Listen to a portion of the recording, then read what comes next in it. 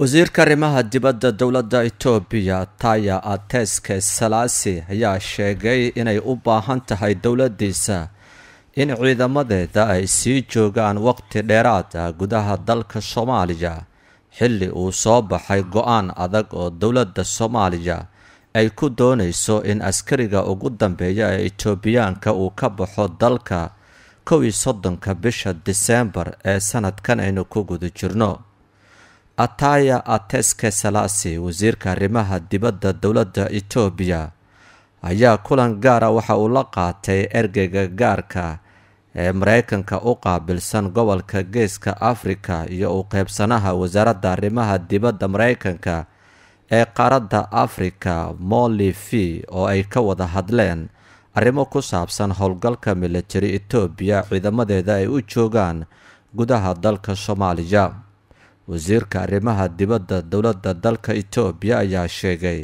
in loo baahan yahay in si taxadir leh looga fiirsado go'aanka bixitaanka ciidamada itoobiyaanka ee dalka soomaaliya isagoo sheegay in taasi ay ka dhalan karto haddii lagu degdego khatar amni oo guud ahaan gobolka geeska afrika saameysa.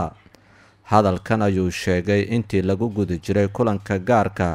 ee uu la qaatay katharina molly v kaaliyaha xogeyaha arrimaha afrika u qaabilsan wasaaradda arrimaha dibadda ee dowladda mareykanka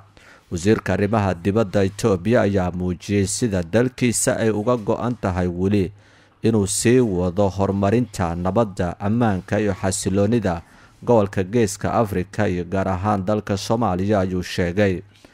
Labadeennaba waxaan xaqiijinay muhiimadda ay leedahay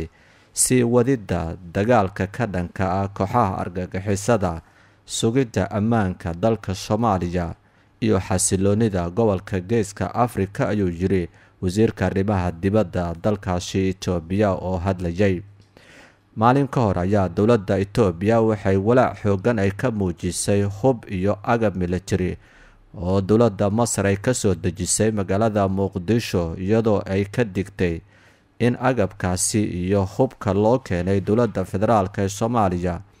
uu sii huriyo xiisadda gobolka islamarkaana ugu dambeyntii uu u gacan galo dagaalyahanada al-shabaab sida uu sheegay wasiirka arrimaha dibadda dowladda itoobiya. Itoobiya ayaa aada uga feejigan dhaqdhaqaaqyada militari masar ay ka bilowday gudaha soomaaliya maadaama labada dal uu ka dhexeeyo muran xoogan oo webiga nail ku saabsan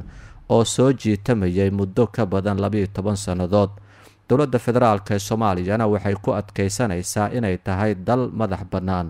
oo xaq u leh inuu heshiis la galo waddan kasta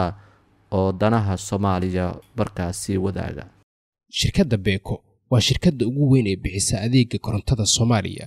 Beeko waxa ay koronto siisaa koonfurta soomaaliya sida banaadir jubbaland hirshabeelle iyo koonfur galbeed.